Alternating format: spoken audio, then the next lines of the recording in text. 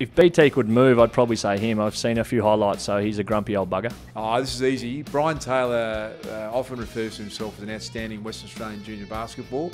Given he struggles to walk, uh, I'd suggest that Brian, and given the fact that he blows up, I'd say BT.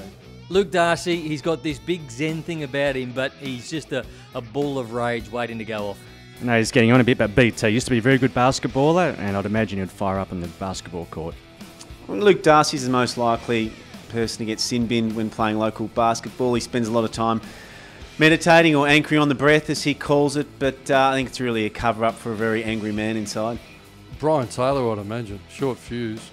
Oh, there's only one person on our team that's going to be sin binned for an uppercut, and that's Ross Lyon. Any man that is prepared to king hit his best mate from behind on the football training field is capable of being sin binned in a basketball game. Luke Darcy. Without any doubt, Big Brian gets very grumpy on and off the basketball court. He'd take someone out for sure.